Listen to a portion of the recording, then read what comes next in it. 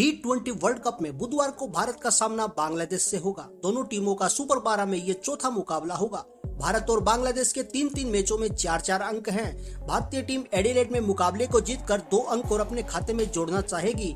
मुकाबले से पहले साकिब अल हसन ने बड़ा बयान दिया। उन्होंने कहा कि बांग्लादेश की टीम इस मैच में उलटफेर कर सकती है। साकिब ने भारत को टी ट्वेंटी वर्ल्ड कप जीतने का प्रबल दावेदार बताया और कहा कि उनकी टीम इंडिया के खिलाफ अपना मैच जीतकर उलटफेर करने की कोशिश करेगी। साकिब ने अपनी टीम को अंडरडॉग बताया और कहा, भारत पसंदीदा है।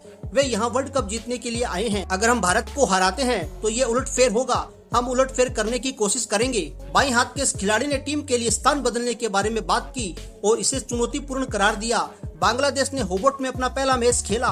एडिलेड ओवल में भारतीय टीम के खिलाफ मैच खेलने से पहले उसे अलग अलग मैदानों पर जाना पड़ा। वह होबर्ट के बाद सिडनी और ब्रिस्बेन गई थी। भारतीय खिलाड़ियों के बारे में बात करते हुए साकिब ने सूर्य कुमार यादव और असरदीप का ज़िक्र किया। दोनों खिलाड़ी इस टूर्नामेंट में शानदार फॉर्म में हैं। साकिब की टीम इन दोनों से निपटने के लिए अलग अलग योजना बनाएगी।